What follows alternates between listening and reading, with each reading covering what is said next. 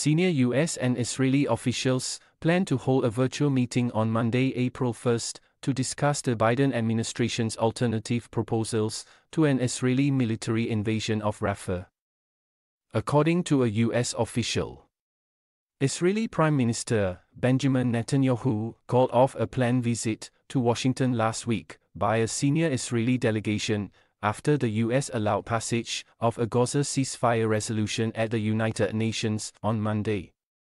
Marking a new wartime low in his relations with President Joe Biden. Two days later, Israel asked the White House to reschedule a high level meeting on military plans for Gaza's southern city of Rafah. Officials said, in an apparent bid to ease tensions between the two allies. The United States, concerned about a deepening humanitarian crisis in Gaza, wants Israel to consider alternatives to a ground invasion of Rafah. The last relatively safe haven for more than 1 million displaced Palestinian civilians.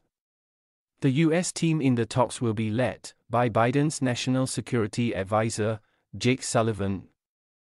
The official said.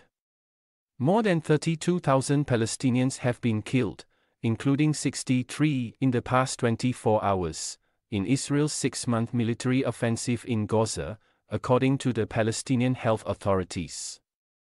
Israel's retaliation began after an October 7 attack in which Hamas militants breached the Israeli border to kill 1,200 people and take 253 hostages, according to Israeli tallies.